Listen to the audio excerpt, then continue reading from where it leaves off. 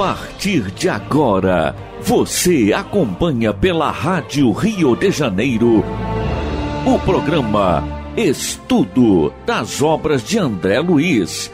Vamos refletir agora sobre o livro Evolução em Dois Mundos. Produção e apresentação Berenice Lima e Deusa Nogueira. Meus irmãos, amigos, ouvintes da Rádio de Janeiro, estamos nós no estudo das obras de André Luiz. E estamos estudando o Evolução em Dois Mundos, esse livro, né, que foi psicografado por dois médiuns, Francisco Cândido Xavier e Valdo Vieira. E dentro desse livro estamos no capítulo 10, que vem falar sobre palavra e responsabilidade. É um tema muito interessante, muito interessante mesmo. A questão da palavra, ela é tão séria, né, que a gente vê que o, o, para a cultura grega, o verbo tem a ver com criação. Tem a ver com a criação.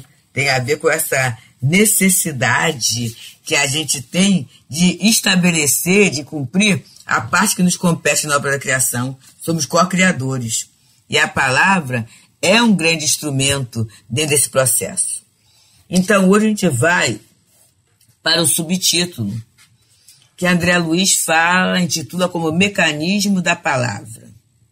E ele diz assim: Com extremo carinho, de vagarosa confecção, os técnicos da espiritualidade superior compõem a cartilagem situada em plano inferior, a cricoide. E aí, o que, que é a cricoide, gente? É um anel modificado da traqueia, sustentando uma placa na parte posterior, sobre a qual, no bordo superior e de ambos os lados da linha média, se apoiam as duas aditenoides, que se permitem, assim, a conjunção ou afastamento entre si.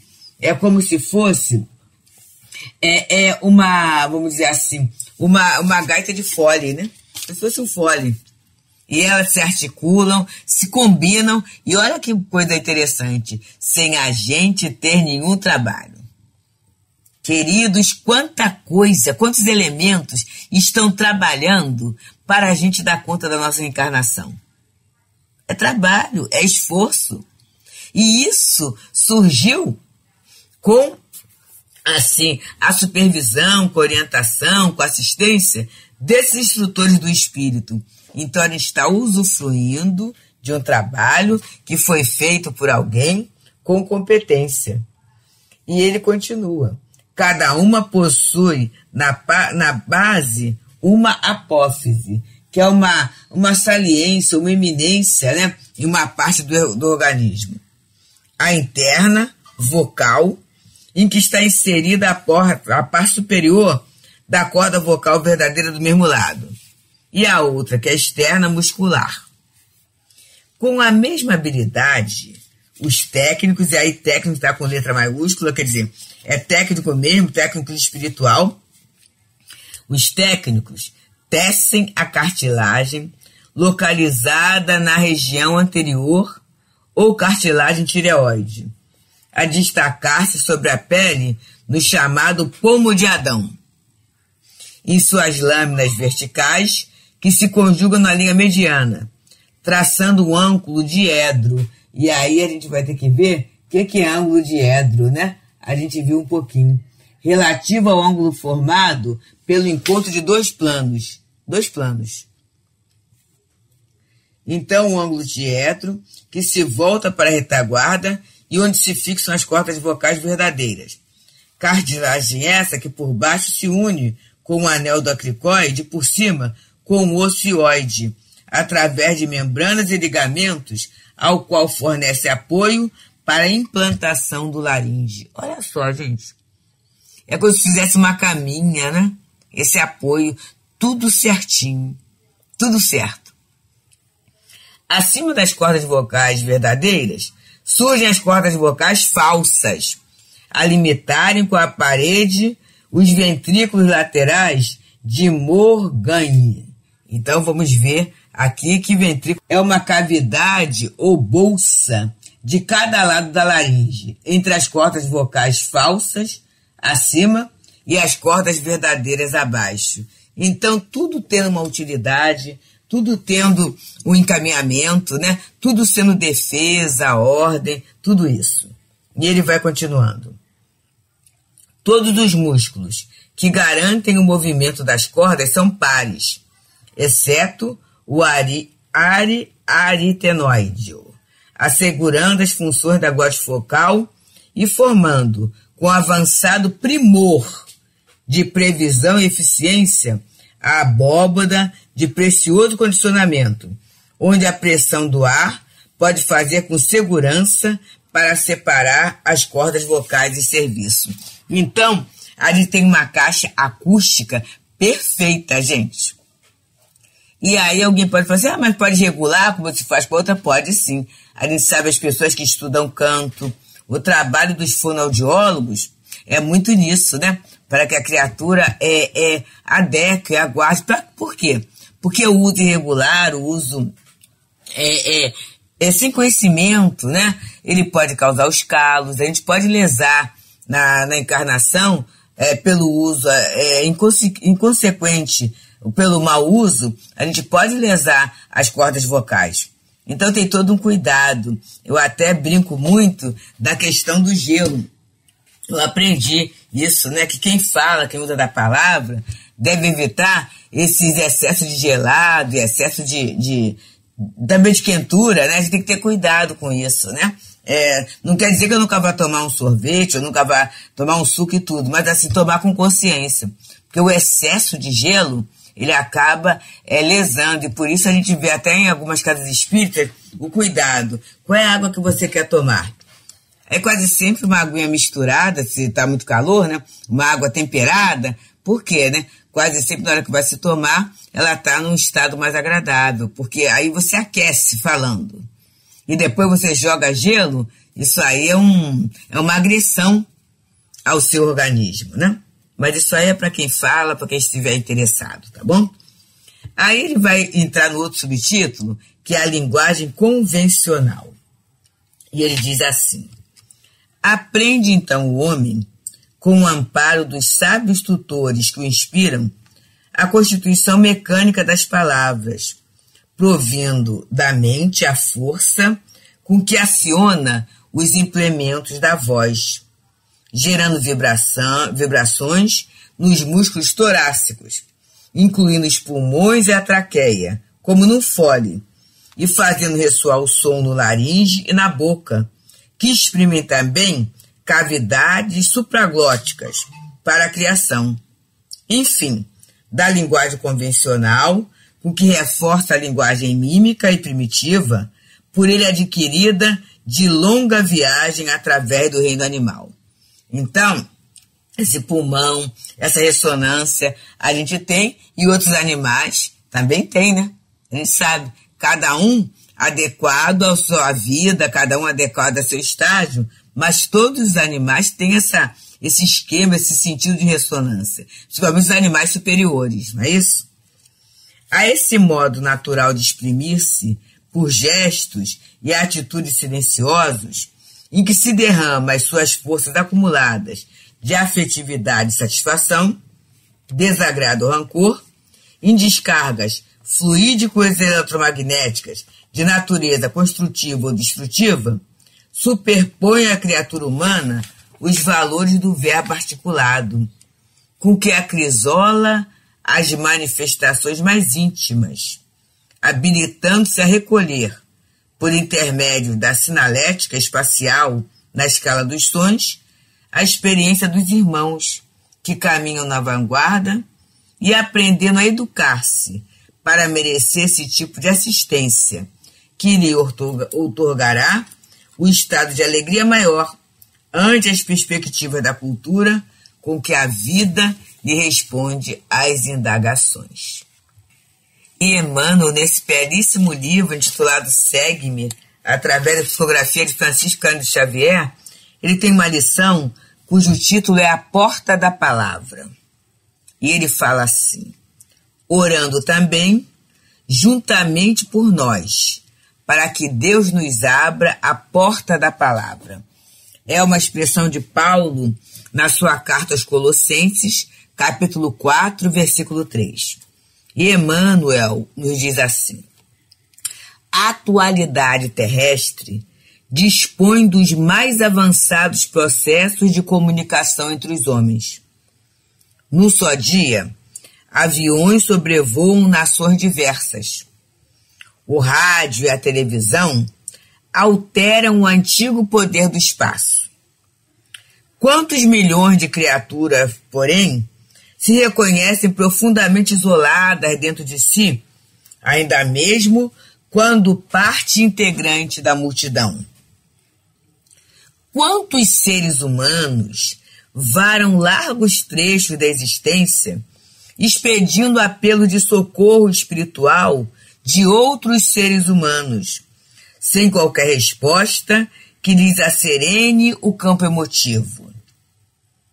O que mais singulariza o problema é que nem sempre vale a presença material de alguém para o auxílio de que outro alguém se reconhece necessitado. Quem sofre prefere solidão à companhia daqueles que lhes agravam o sofrimento. Todos nós carecemos de alívio na hora da angústia ou de apoio em momentos difíceis. E para isso, contamos receber daqueles que nos rodeiam a frase compreensiva e conveniente. Entretanto, nesse sentido, não bastará que os nossos benfeitores nos manejem corretamente o idioma ou nos identifiquem o grau de cultura. É imperioso nos reconheçam os sentimentos e problemas, os ideais e realizações. Meditemos, pois, na importância do verbo e roguemos a Deus nos inspire, a fim de encontrarmos a porta adequada à palavra certa e sermos úteis aos outros, tanto quanto esperamos que os outros sejam úteis a nós. É a porta da palavra do livro Segue-me, de Emmanuel, através de Francisco Cândido Xavier. É muito interessante, né? Como é que a palavra nos ajuda? Como é que todos nós poderemos relacionar momentos muito difíceis? Uma palavra nos orientou, nos ajudou a tomar a melhor resolução, nos consolou, nos ensinou. Então, assim como nós recebemos, que a gente também possa compartilhar essa boa palavra. A campanha da boa palavra, eu estou lembrando do nosso bordalo, que sempre fala sobre isso, campanha da boa palavra. Falar no bem, orientar o pensamento, o sentimento em direção à luz. Então, estamos nós aqui, na Rádio Rio de Janeiro, no estudo das obras de André Luiz, no programa é, Evolução em Dois Mundos, é o livro desse momento. Estamos no capítulo décimo desse mesmo livro, que fala sobre palavra e responsabilidade. E nesse momento, vamos entrar no subitem que André Luiz intitulou como Pensamento Contínuo. E ele diz assim: Com o exercício incessante e fácil da palavra, a energia mental do homem primitivo encontra insopitável desenvolvimento, por adquirir gradativamente a mobilidade e a elasticidade imprescindíveis à expansão do pensamento, que então paulatinamente se dilata, estabelecendo no mundo tribal todo um oceano de energia sutil, em que as consciências encarnadas e desencarnadas se refletem, sem dificuldade umas às outras. Então é através dessa comunicação, através da palavra, que a gente vai tendo uma elasticidade para expressar o nosso pensamento e para também entender o pensamento do outro. E isso, gente, desde o do, do mundo primitivo. E ele fala aqui, estabelecendo todo um oceano de energia sutil, por quê? Porque a palavra vibra. O som é vibração, são ondas sonoras. E essa palavra, ela vai atingir, ela vai qualificar o ambiente A gente sabe, através do relato de médios, né, de médios videntes, que às vezes eles chegam num ambiente, um ambiente até é pomposo, um ambiente é, é sofisticado, mas eles observam, às vezes, na parede, nas paredes, algumas manchas, que não são as manchas causadas pela, pela falta de, de higiene é, é, física, mas sim as paredes, as manchas causadas pela falta de higiene psíquica, em que através da palavra, discussões, discussões, é, é, desentendimentos, palavra de baixo calão, tudo isso, gente, vai desqualificando o ambiente e fica marcado ali. E se fica marcado ali, tem um poder magnético, automaticamente a atração dos espíritos não será a mais conveniente, não será a melhor. Então, que a gente observe bem o que, que a gente anda falando, ou então, o que, que a gente está permitindo que entre no nosso ambiente. Muitas vezes eu não falo, mas eu assisto, eu aplauso, eu aplaudo, eu compartilho, eu gasto tempo, e tudo isso vai impregnar o ambiente que eu estou vivendo. É essa qualidade vibratória do ambiente que a nossa palavra vai dando. Então a gente já viu o valor da boa música? É o valor da boa música que harmoniza o ambiente, né? O valor de uma mensagem boa, de um pensamento bom, tudo isso vai sendo expresso, vai sendo expresso e impresso, vou colocar aqui, impregnando o ambiente em que nós estamos vivendo. Então, o pensamento contínuo faz com que a gente é, consiga articular a palavra, articular o pensamento, completar o pensamento, é, é, organizar esse pensamento.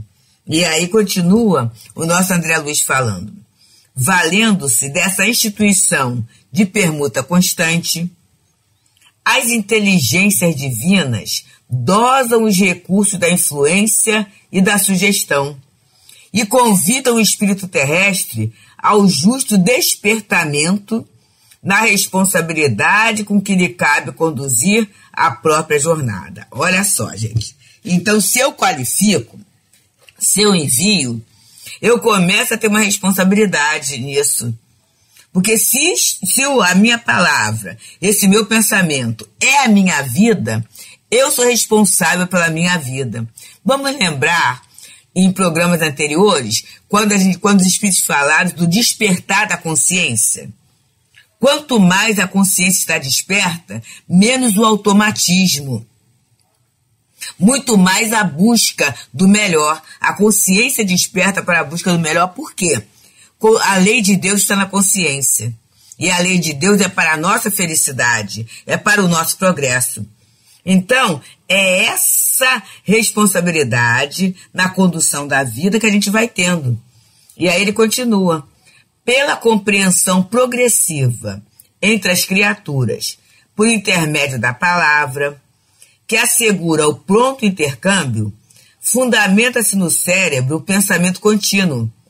E por semelhante maravilha da alma, as ideias relâmpagos e as ideias fragmentos da crisálida da consciência do reino animal se transformam em conceitos e inquirições, traduzindo desejos e ideias de alentada substância íntima. Então, assim, no animal, ideia relâmpago, ideia fragmentária. E aí a gente sabe que tem estudos atuais que provam que o animal tem um pensamento contínuo, principalmente superiores. Eles conseguem ter um pensamento contínuo. Mas esse pensamento contínuo é limitado. É limitado a quê? A satisfação das próprias necessidades. Necessidade de conservação, necessidade do relacionamento no próprio grupo.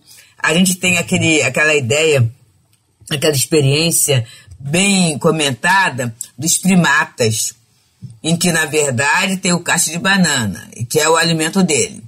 E aí, num determinado momento, os cientistas colocam o cacho de banana bem alto. E no, no chão, eles têm alguns, alguns pedaços, é, alguns tubos que são é, é, em, em, conectáveis, né? Eles podem ser, ser juntos. E aí o chimpanzé vai, Tenta com o tubo, não consegue. Ele pula, não consegue. E aí daqui a pouco ele começa a olhar o tubo à sua volta. E daqui a pouco ele começa a experimentar e ver que o tubo é encaixável. Ele pode encaixar os tubos. E aí ele encaixa um, sobe, pula, não consegue. Aí encaixa dois e daqui a pouco ele consegue, com o tubo, tirar. Então foi uma experiência adquirida. Para quê? Para a conservação, para sua fome. E aí aquilo vai ficando acumulado, quer dizer, toda vez que ele vê um, uma, um cacho de banana alto, ele automaticamente vai lá, encaixa o tubinho e vai e, e faz. Isso é o armazenamento da experiência, é um pensamento contínuo para a satisfação de uma necessidade física, né? uma necessidade é, é, é, é da, da fome.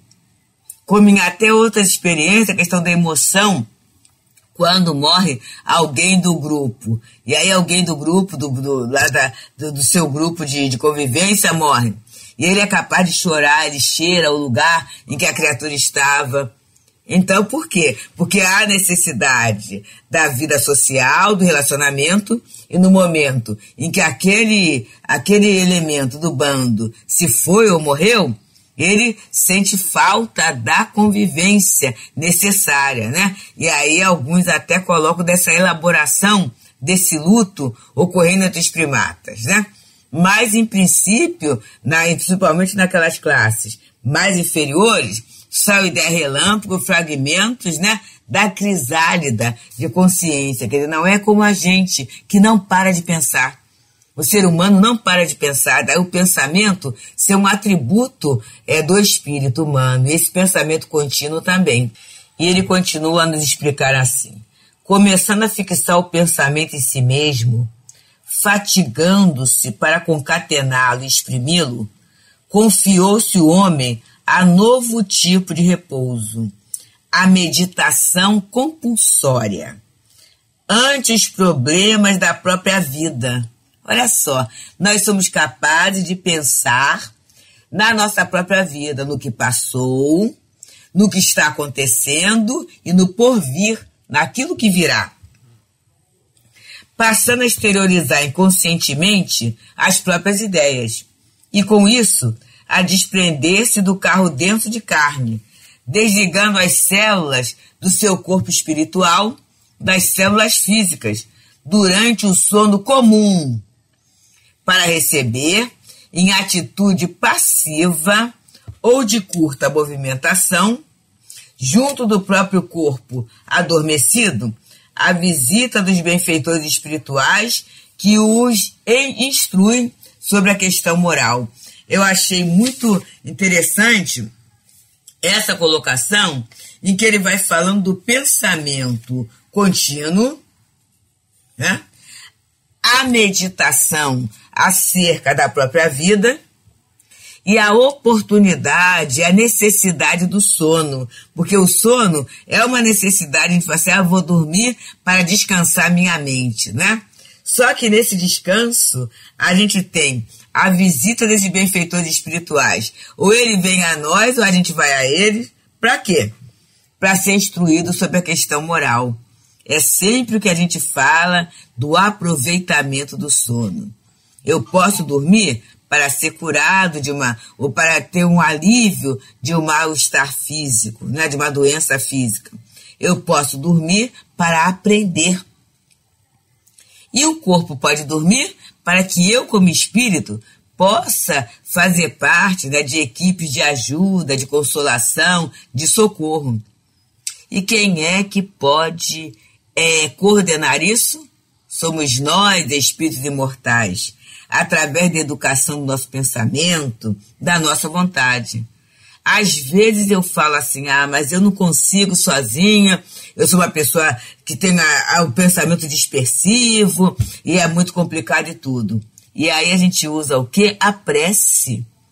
Uma pequena leitura, a música, mas a prece pedindo a Deus ajuda para entrarmos em conexão com esses amigos espirituais.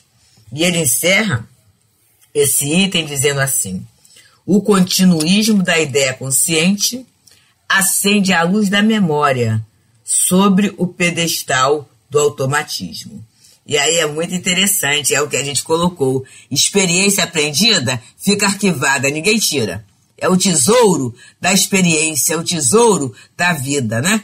Então, que a gente possa, no dia de hoje, é armazenar as excelentes experiências que a bênção do pensamento contínuo em nossa vida está nos proporcionando, está nos dando, né? está no, nos é, oportunizando. Que a gente possa bem aproveitar o nosso tempo, a nossa palavra, o nosso pensamento, a nossa ação.